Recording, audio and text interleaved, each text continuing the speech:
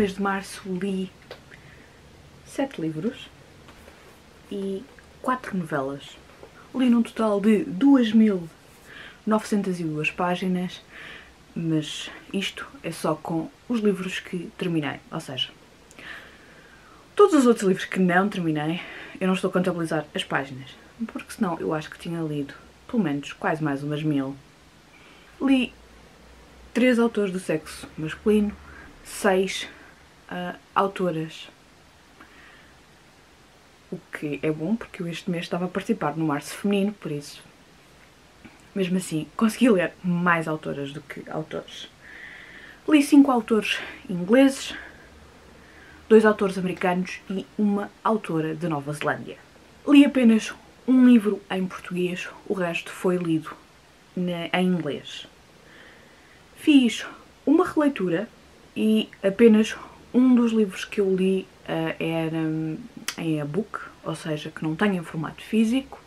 No entanto, houve um dos livros que também foi ouvido, um, a leitura foi entre o livro físico e o livro áudio. Os livros que eu li foram apenas um deles foi comprado em 2018, três foram comprados em 2017 e dois foram comprados em 2016. O, o outro já foi comprado há mais tempo e eu não sei em que ano é que foi. Li dois livros de ficção histórica, um livro de não ficção, um livro de, um livro de horror, um livro de banda desenhada e um livro de fantasia. E estamos em. Estamos, não, estávamos em março e eu li o meu primeiro livro de banda desenhada do ano. Eh, alguma coisa não está bem. Isto anda a ler pouca banda desenhada, tenho que tratar disso. Em termos de anos, li um livro publicado em 91, outro de 99, um de 2000, um de 2012, um de 2015 e dois de 2016. Dei 4 estrelas a dois livros, 4 estrelas e meia a 3 e dei 5 estrelas a dois livros. Inspirada pela leitura conjunta do Senhor dos Anéis, eu comecei, comecei não, li este livro, que é A Arte do Senhor dos Anéis pelo Tolkien. Ou seja, todos os desenhos, todos os bosses que o Tolkien fez uh, para o ajudar a escrever O Senhor dos Anéis um, e não só. Uh, eu já tinha lido, já o ano passado, há dois anos, o, o, livro equivalente, mas em relação ao Hobbit, e gostei mais desse. Um, este é muito focado nos mapas, um, e eu não sou assim muito fã de mapas, e então... Uh, e como ao mesmo tempo também estava a ler o A Reader's Companion, havia muita da informação que já estava no Reader's Companion, que também está aqui. Um, não deixa de ser interessante, mas ao mesmo tempo acaba por ser um bocadinho redundante. Mas gostei do livro, gosto desta edição.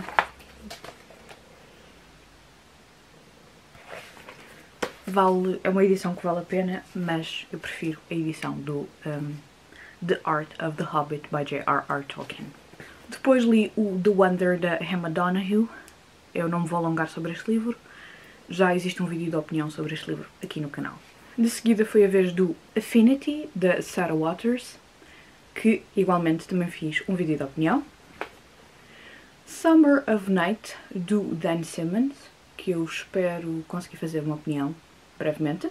Ah, depois li o Southern Bastards, volume 3, Homecoming, dos Jason, Jason Aaron, Jason Latour é uma banda desenhada que é uma série de banda desenhada que eu estou a gostar bastante um, e eu tinha estado a adiar a leitura do volume 3 uh, ah, porque um, achava que a história já não tinha muito mais para onde ir e que tinha que terminar.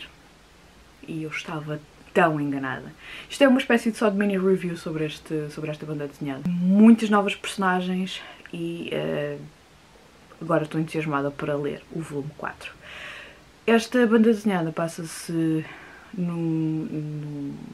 numa cidadezinha por trás do Sol Posto, no sul dos Estados Unidos, e uh, reflete um bocadinho sobre como é que aquela comunidade e outras comunidades funcionam. Particularmente é uma comunidade que está muito dependente do futebol americano e o treinador da equipa uh, do liceu, ou do equivalente ao liceu, é o rei da criação e, para além de ser o rei, ele acha-se o rei da criação que manda em tudo e todos.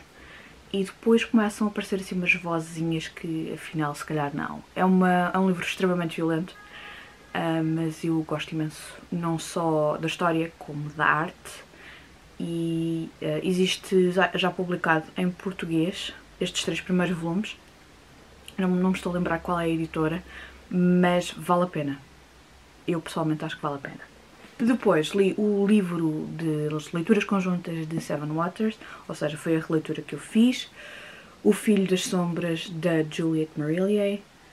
Um, eu já fiz uma opinião sobre esta série aqui no canal. Eu adoro esta série, um, portanto foi um dos livros que levou 5 estrelas. Continuo a adorar este livro. Apesar do início ser um bocadinho lento, um, especialmente quando quando queremos que a ação vai um bocadinho para get to the point, mas é normal. Um, e eu, este é um dos meus preferidos da, da série, por variedíssimas razões, mas depois quando, quando se fizer o live sobre este livro, uh, que será só em maio, um, depois iremos discutir melhor sobre isso. O último livro que eu li foi o The Casual Vacancy, da J.K. Rowling. Uh, este livro era uma leitura conjunta com várias pessoas. Houve algumas pessoas que, entretanto, desistiram da leitura. É um livro que não desenvolve muito e parece que não vai a lado nenhum. Um, é um livro muito à volta de personagens. É um livro que um, morre uma pessoa e depois é as consequências da morte dessa pessoa na vida de uma comunidade ou de várias pessoas dessa comunidade. Uh, é interessante. Uh, o final. O final tem assim, uma série de desenvolvimentos que mexem, pelo menos comigo mexeram um bocadinho. Uh, principalmente porque era uma das minhas uma das personagens que eu estava a achar mais interessante que acontece algo, que eu não vou dizer porque é spoiler. Uh, mas a maior parte das personagens não tem grande desenvolvimento. Depois de uma grande. De uma grande parece que vai haver uma grande mudança na vida destas pessoas e depois. Depois do clímax as coisas não. não desenvolvem muito. Os livros que eu comecei a ler, mas que não terminei. Tales of Mystery and Macabre, da Elizabeth Gaskell. Eu já vos falo um bocadinho mais sobre este livro, porque foi deste livro que eu li os contos. Senhor dos Anéis, do Tolkien. Este livro está a decorrer uma leitura conjunta. Estamos neste momento no na segunda metade do primeiro livro. Portanto, é uma leitura que está a ser feita de maneira bastante. Já disse lenta? é isso mesmo. Pronto. Eu, ao mesmo tempo que estou a ler aquele livro, estou a ler este, que é o A Reader's Companion. Um, leio um capítulo do, do outro livro e depois vou ler o capítulo correspondente aqui. Uh, supostamente a pessoa devia estar com os dois abertos e a ler uh, para perceber as referências, mas eu percebo perfeitamente o que é que está a acontecer, portanto não, não estou a perder nada.